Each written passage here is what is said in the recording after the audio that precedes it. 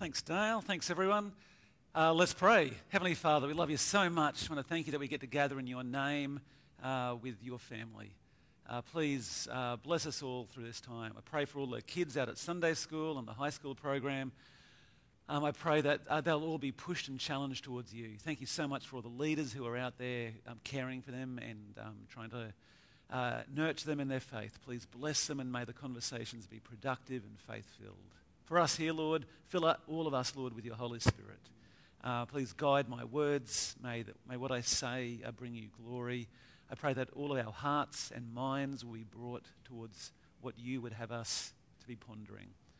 So challenge us, Lord. Use this time uh, to uh, make us, uh, to, to, to change the way that we think and change the way that we act.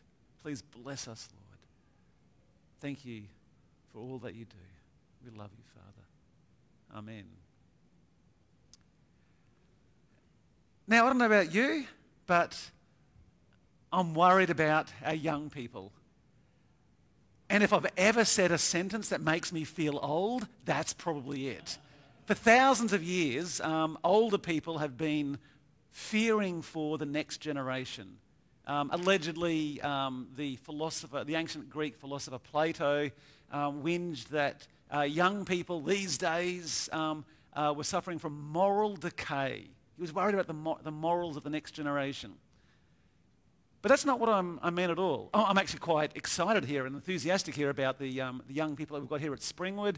Um, Haley and her team are doing a fantastic job of, of creating an environment, a, a welcoming environment where um, they don't just reach out but also build um, young people up in their faith. And I know even more that this church is filled with godly parents um, who intentionally nurture the faith of their children and have uh, targeted faith filled discussions uh, with their kids. And that's the most important thing that you can do um, as a parent and to, to, help the next generation, for parents to be having those uh, discussions with kids. So thank you. I'm so pleased uh, that, that we're blessed uh, to have a church where, where that is what happens. But still, I'm worried about young people. I'm worried about young people because survey after survey shows us that the vast majority, vast majority of people who grow up in the church will later in life walk away from their faith. Uh, the Christian Research Association did, a survey that said that of those who attended church regularly at age 11, 72% of them were not attending church in their 20s. And that's not an outlier survey. Um, so much research back comes up with similar numbers that about two thirds of people will walk away from their faith um, in their young adult age. That's awful. That is, that's, that's quite, that's a tragedy. Um, so to you Christian parents out there, no matter how old your kids are, uh, know that you have no more important ministry than discipling your own children. Now please know though, um, don't, get your, don't get your hopes up too much. I'm not about to give you the magic bullet solution that's going to fix that problem. Um, it's not going to, I'm not going to suddenly make you all better parents. Um, all your children aren't going to suddenly um, know Jesus um, because of what I say now. But what I'm hoping to do, though, is share one promise from Jesus that can make a difference. I think that this promise from God will give you hope and will hopefully can change the way our young people and change the way we can react to the world. Before we jump into scripture, though, let me tell you a story. Uh, Mark Sayers is the prominent uh, Church of the Christ minister in Victoria, um, in, in, Melbourne. Uh, he pastors the church called Red. Pretty weird name for a church. Um, he's written a whole bunch of books. Um, he's, he's, he's, he's quite, um, quite, quite, quite a pr- prominent and yeah, really good pastor. About 20 years or so ago, he was fairly worried about the next generation, and particularly the young adults. And he was, he was a young adult, adult himself. And he noticed that so many Christians that he'd known of a few years ago in various churches that he'd go around and visit were now no longer attending church anymore. And this began to bother him, and so it should. So he began his own um, informal research project where he went around and for months, uh, for, for, many months, he would um, invite as many uh, non church attending young adults just to sit down and have a coffee with him, and he'd ask them the question what happened? And then he would just listen to them. He'd say, Look, I'm, I'm, not, I'm not here to try and convince you of anything. I just want to hear your story. And he said, after a while, he actually didn't need to listen that hard because the same story began to be told over and over again, but with, with, with different details, but it was the same pattern um, that he'd. And the story went something like this I grew up in the church and I did all the right stuff. I did everything that the church asked, asked of me. Um, um, I, I went to Sunday school, youth group, Bible studies. I got baptized, took communion, volunteered in the church. I went on mission trips, served the poor, shared my faith, cast out demons, prayed for healing, heard words from God. I did it all. I was sober, modest, faithful. But despite all of that, God didn't come through for me. I was promised an awesome life, and it never happened. And then the person would share all the ways their life had fallen apart. And obviously, I'm putting lots of people's stories together here. This isn't just one person. Um, uh, but they'd say, Look, I, I studied for four years and never got the career that I trained for. I was sacked unfairly. Despite saving myself a marriage, I never found a Christian to actually marry. My best friend betrayed me. My sister died after years of painful cancer. My brother's in a wheelchair for life after he was beaten up. None of this is fair. Where is my blessed life? My life to the full, my protection, my awesome life that I was promised. And with this dissonance between what they felt had been promised by the church and what they actually delivered, they walked away from their faith. They felt they'd been promised one thing, but from their perspective, God hadn't delivered on what they'd been promised. So, what, what Mark Sayers concluded was that perhaps one of the reasons, and let's be clear, this is, this is only one of the reasons for a broad variety of things happening. One of the reasons that so many young people had fallen away from their faith was that, be, that they had been promised an awesome life if they'd become Christian, and it hadn't happened. For those who it had happened, yeah, they were fine. But for those who had endured tragedy, they were falling away. I mentioned before that I'd talk about a promise from God. Unfortunately, one of the mistakes we often make as Christians is that we make false promises in God's name. Now, we don't always do this directly. No one ever actually says, You are guaranteed an awesome life if you follow Jesus. But we can come pretty close to it. What often happens is we take verses from the Bible and for all for well meaning purposes and probably with, with no deceit at all. We, we, we, we believe what we see. But we take verses that were written to people thousands of years ago and assume that we can misapply those verses to our situations, ignoring the original context and ignoring the intended meaning of the passage. So one classic verse that you, you see this happen to a lot is uh, Philippians 4.13. Um, I can do all things through Christ who strengthens me. You've all seen this being taken in, in a variety of crazy ways. I've, I've seen boxers come out into the boxing ring wearing robes with Philippians 4.13 on it. I can do all things through Christ who strengthens me. So presumably what they're hoping, praying for is that one of the all things that God will do for them is allow them, give them the spiritual gift of being able to pummel their opponent to the ground. And, well, ma- ma- maybe they will. I'm not sure what their success rate is wearing the shirt versus not. Um, I was running the um, Gold Coast Marathon a few weeks ago, um, and, uh, and um, I saw a, a, girl wearing that shirt. I, I, can do all things through Christ who strengthens me. And it might have worked because she ran fast past me quite quickly. Uh, perhaps God did give her that strength. Um, but it's the kind of verse that we take out of its original context and we try to misapply it. Basically, we're, when we take that verse out by itself, we're arguing that we can do anything with Jesus. And to be honest, it's the kind of message that works well today. In, in our cult, current cultural climate, Um, it's a fairly popular message. It's the moral that you see in countless movies. You can do it. You can do anything. Live out your dreams. And so then we as Christians add in, oh, and I can do all things. You can do all things through Christ who strengthens me. It's a nice form of theological justification for some fairly secular thinking. Of course, if you take a closer look at that passage and look at what comes just before it, you can see that it actually isn't a promise of an awesome life where all of your dreams are fulfilled and you can do whatever you set your heart on.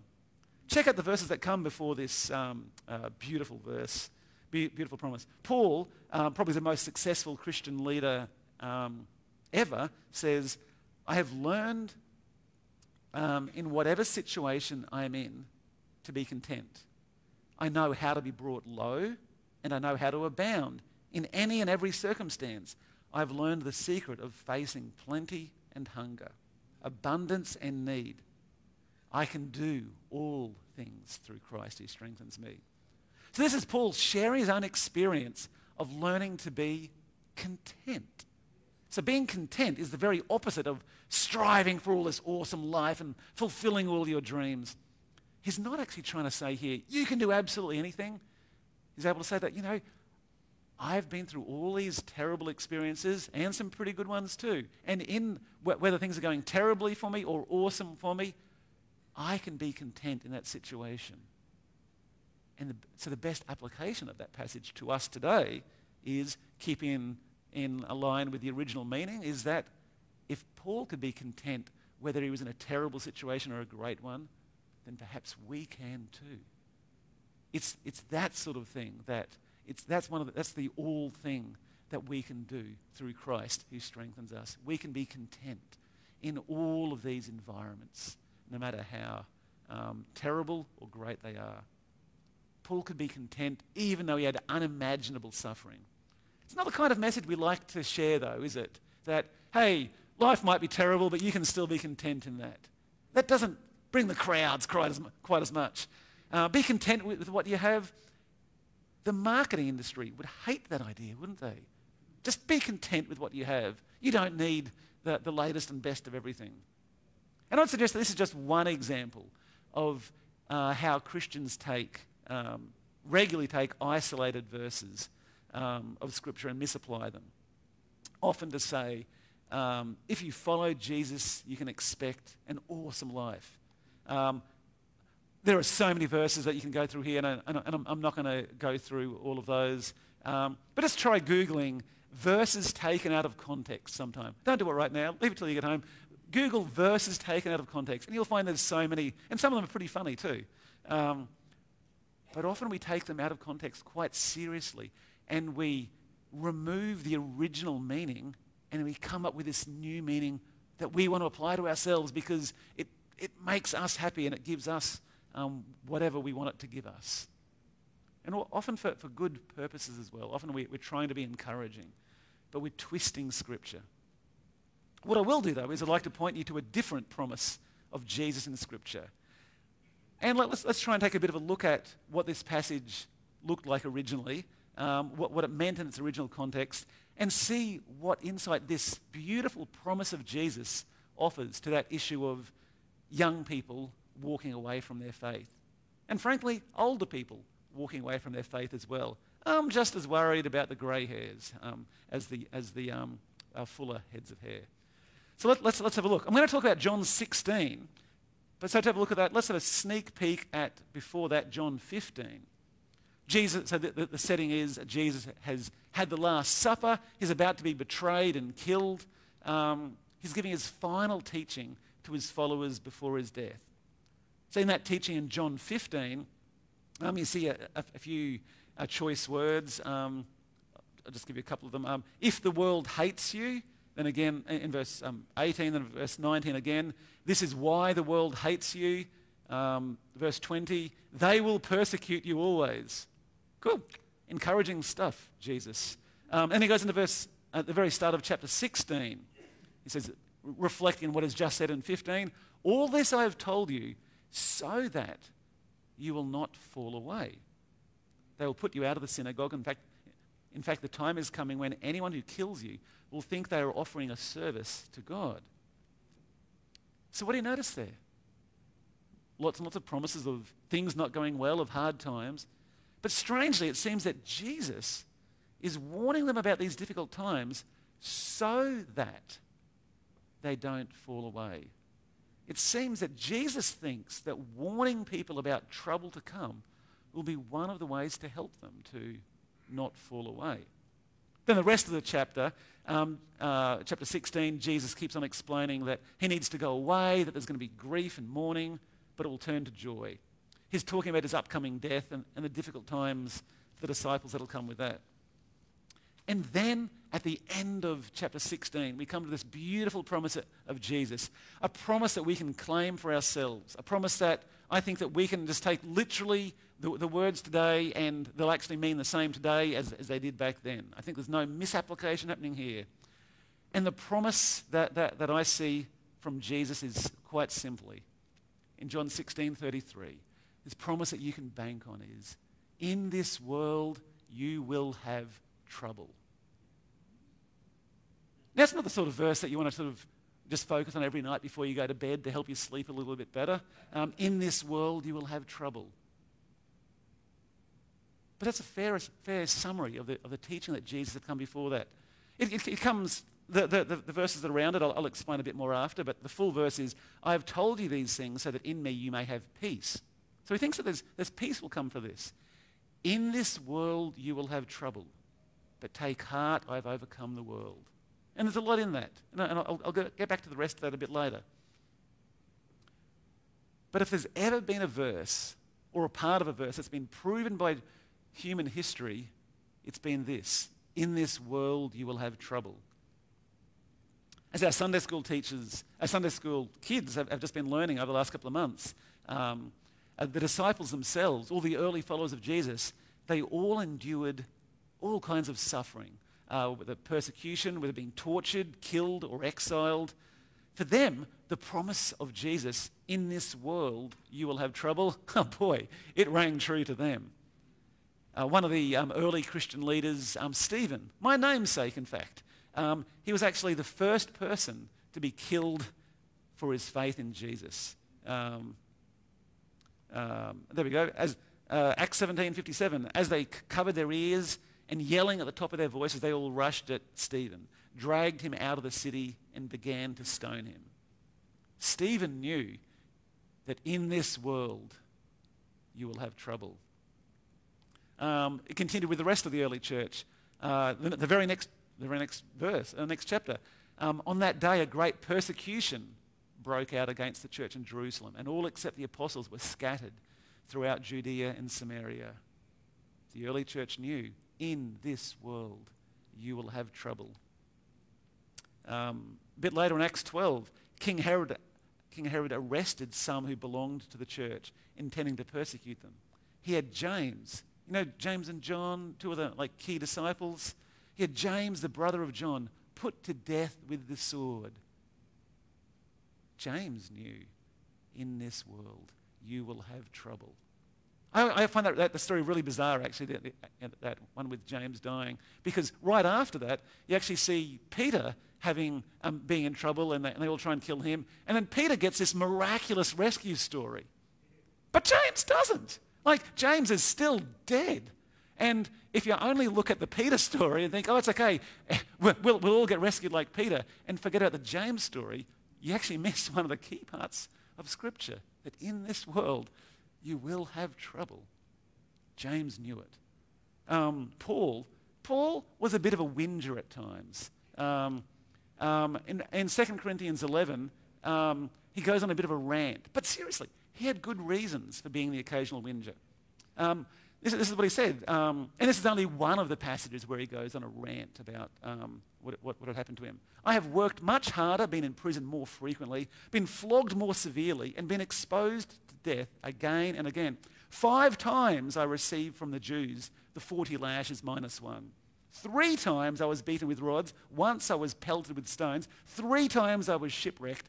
I spent a night and a day in the open sea. I've been constantly on the move. I've been in danger from rivers, in danger from bandits, in danger from my fellow Jews, in danger from Gentiles, in danger in the city, in danger in the country, in danger at sea, and in danger from false believers.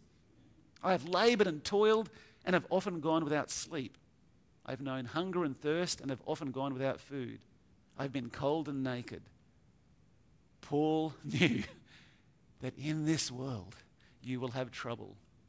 And human history outside of the Bible continues that same story. For thousands of years, there have been wars and rumors of war. Empires have fallen, Christians have been persecuted in many countries, in many eras, including today. Countless believers have been prepared to die for their faith. And they have. Uh, Christians have died in the great plagues that killed millions. They knew that in this world you will have trouble. Um, even today, Christians in the Ukrainian army still get killed, as do Christians in the Russian, the Israelite, the Palestinian forces. Christians get killed in car accidents. They get robbed, they die at young ages from diseases and suffer in all kinds of ways. When we stop and think about the reality of the human experience, we know that this promise of Jesus might not be pleasant, but it's true. We all know deep down that in this world you will have trouble. Yet all too often, we're well meaning about it. We use Christian sounding words, but we deny this truth by twisting Scripture out of its context to say things that we hope are comforting. Our motives are pure. Unintentionally, we make promises to, to others that God didn't intend. And by creating an expectation that Christians' lives are meant to be perfect, they're meant to be awesome, that all will go well for you in this world, that all of your dreams will be fulfilled, instead of expecting trouble, as Jesus has promised us, when tragedies come, we've set these people up to be shattered and disillusioned. I know multiple people who grew up in the church, some in this church, um, for years. But when one of their parents died far too early, blamed God for it. They couldn't reconcile a loving God with their experience. They thought they'd been promised healing and protection, the good life, and, and to them, God just hadn't come through. And if you listen enough to the stories of atheists or, or people who are denying the faith, you'll often hear something like that repeatedly that someone close to them died or someone close to them went through a, a really terrible situation and they didn't deserve it. And, and how can a loving God allow that to happen? And there's lots and lots of answers to that as well. And we know that everybody dies sooner or later. And we know it'll come earlier to some and later to others. Like we all know that abstractly, intellectually, but when it strikes home, especially if people have been taught that you can expect an awesome life um, if you're a Christian. then no wonder their faith falters. Yet Scripture is crystal clear. In this world, you will have trouble. Now I'm focusing on this one verse of Scripture, um, John 16:33. But the New Testament is actually filled with similar um, teaching. Um, uh, the, the, word trouble that, that, you see in John 16:33 um, it actually, actually comes from the, the original Greek word um, thlipsis. Thlipsis. Now, there's a new word for you all this week thlipsis. Um, it's sometimes translated as, um, as trouble, but this word is used dozens and dozens of times in the New Testament, and it's often translated in a variety of different ways. Sometimes it's the word trouble, sometimes it's um, anguish or persecution, suffering, hardships, affliction, distress, trial, and hard pressed depending on what the Bible translators um, thought would communicate best there, that they use those words, which are essentially synonyms of each other um, in, in the verse, um, in, in, in various verses. So as you read through the New Testament, you'll notice a lot of talk about troubles or persecution or suffering and all these other thlipses. And also, there's other Greek words um, that are synonyms as well that are occasionally used for another set of um, sufferings and, and troubles. There's a lot in the New Testament that talks about um, these things. these troubles that are to come. But don't forget as well that this verse isn't only just, John 16 33 isn't only in this world you will have trouble. Notice the bit at the start. I've told you these things, so this is Jesus talking, I've told you these things so that in me you may have peace. In this world you will have trouble. So, and he's been listing all these terrible things that are going to happen, most particularly him dying. He's been telling them all these things about all these troubles so that we can have peace. So somehow, us knowing that these troubles are coming are meant to give us peace. And in verse 1, we saw that it was meant to help us, to stop us from falling away. And then see the bit that comes after. But take heart, I have overcome the world. And that's the part that we have to remember as well. That the message of Jesus isn't just that um, you will have trouble, but that he has already overcome the world. There's a peace that can come. Let's go back to the peace first of all. There's a peace that can come from knowing that troubles are going to come. Now, I don't always get my parenting right. Uh, my, my, my, kids can testify to that. Um, and all, all, too often, they'll, they'll, one of them might come to me and say, hey, this terrible thing's happened, there's this, this tragedy, it's really bad, blah, blah, blah, blah. Um, and as a parent, I, am, I try to comfort them and uh, um, listen to them. And often, though, one of the things that I'll say, and I do mean this as an attempt to comfort them, is, is something like, oh, yep, yep, that sucks.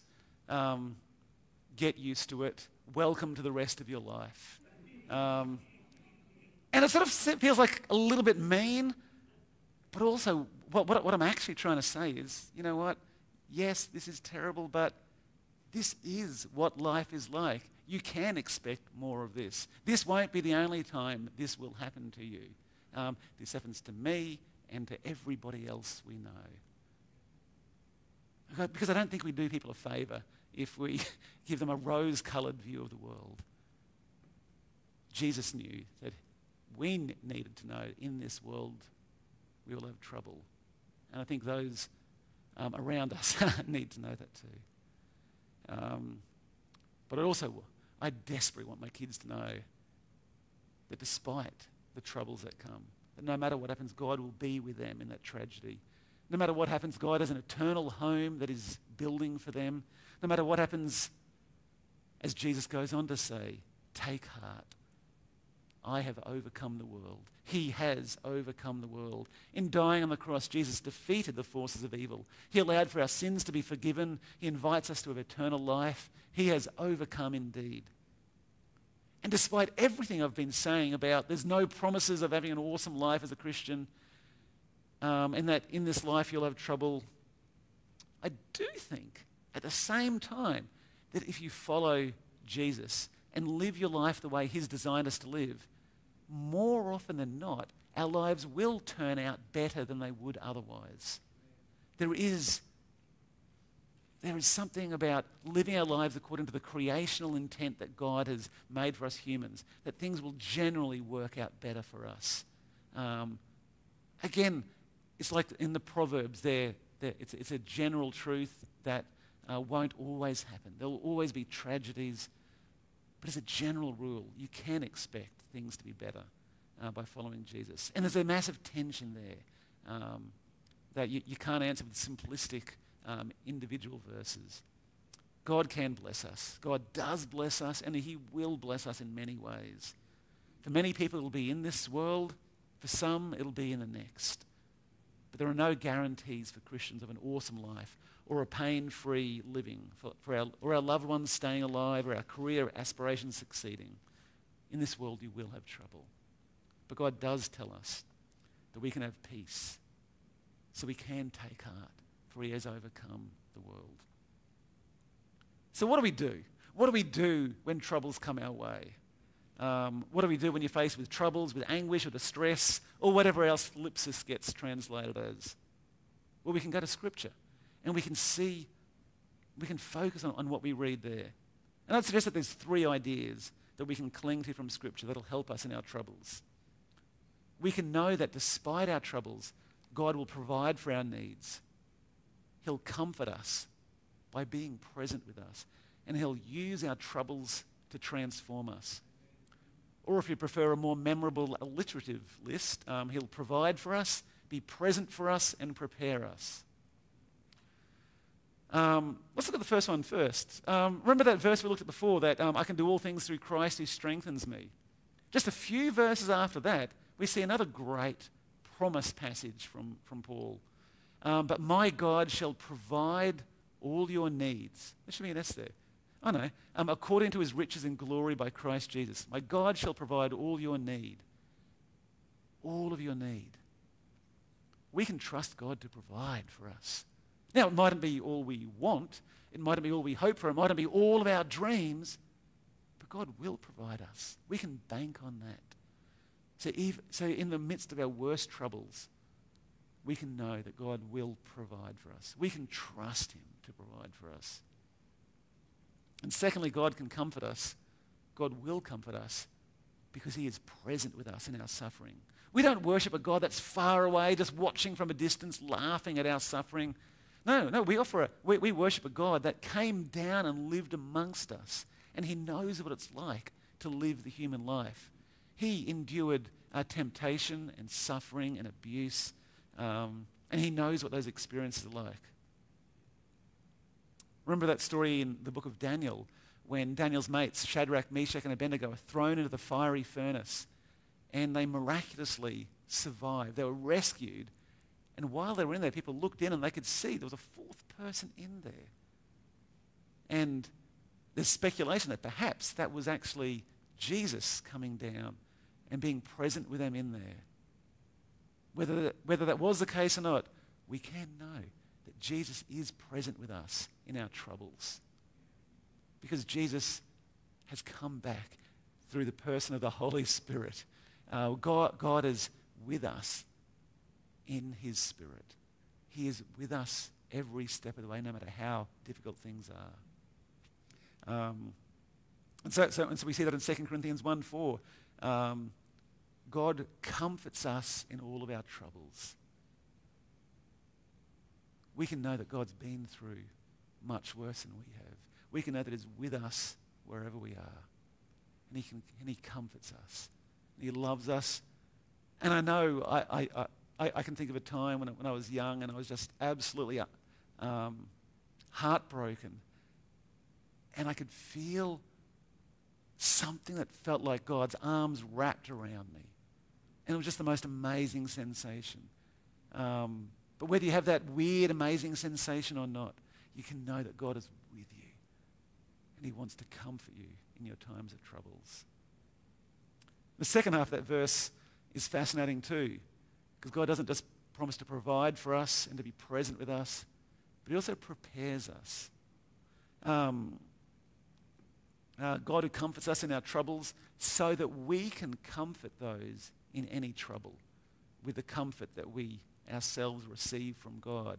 There's a way in which the terrible things that we go through can actually prepare us. They can transform our lives so that we can become more useful. They equip us to serve God in other ways. Sometimes you might have gone through something that's absolutely terrible, and then at some later time, you may be a blessing to someone else because you can listen to their story and you, you don't go straight into judge, judging mode as so many others will because you know, yep, I know, I know what that's like. Boy, that was bad. And just that listening, that non judgmental listening that you can do can make a difference. Maybe you can offer words of hope, Some, share what, what helped for you. And somehow your pain can be used as a blessing to other people.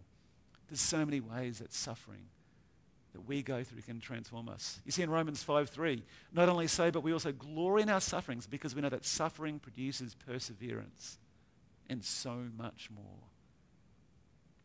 Our troubles transform us. Our troubles prepare us in countless ways.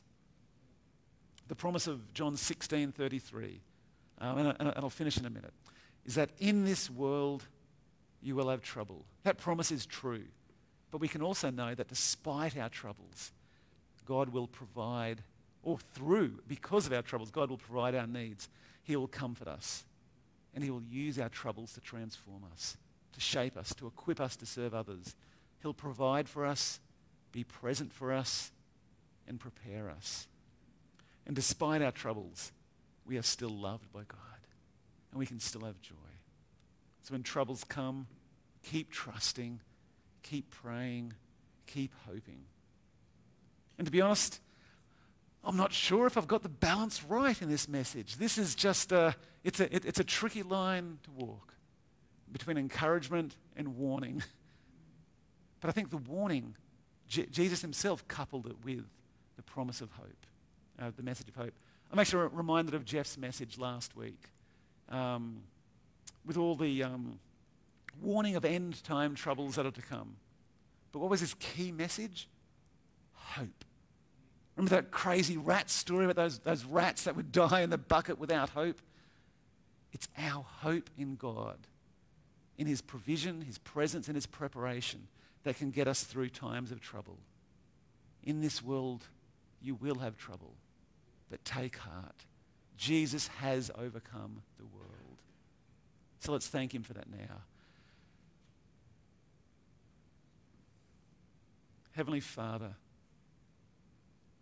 I would rather you give us all the awesome life. I would rather everything go well in my life and for my kids to have everything go perfectly for them and just have untold blessings on everyone. But we know, Lord, that you can use all of our pain. You can use all of our troubles for your glory. So, Lord, give us patience in our times of troubles. Give us perseverance through them all. Help us to trust in you no matter what happens. Give us hope for this life and for the next. And thank you, Lord, that you are with us through it all. Never let us forget that you love us and that you're with us always. May this encourage us all, Lord. Bless us, Father. And thank you for all that you've done. Help us always to be grateful. In your precious name we pray. Amen.